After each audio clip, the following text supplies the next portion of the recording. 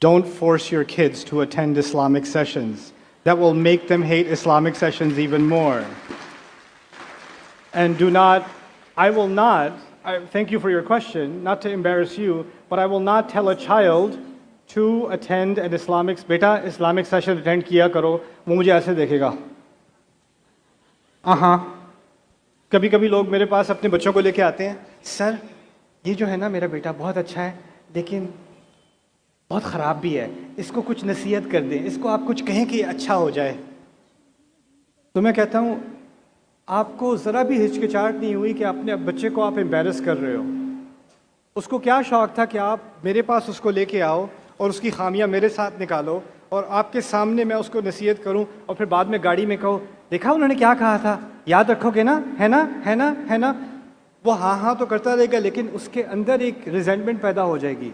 जब ऐसा कुछ होता है ना तो मैं पेरेंट्स को कहता हूँ, आप ज़रा इधर एक सेकंड ठहरें, मैं आपके बच्चे से बात करता हूँ। मैं बच्चे को थोड़ा दूर लेके जाता हूँ, फिर कहता हूँ, यार सॉरी यार, कोई बात नहीं। मैं कुछ नहीं कहूँगा तुम्हें। और तुम उनसे कहना, बहुत अच्छी नसीहत की थी और उन्होंने कहा था मेरे और आपके दरमियान रहेगी। जाओ। Go easy on your kids. Go easy on your kids.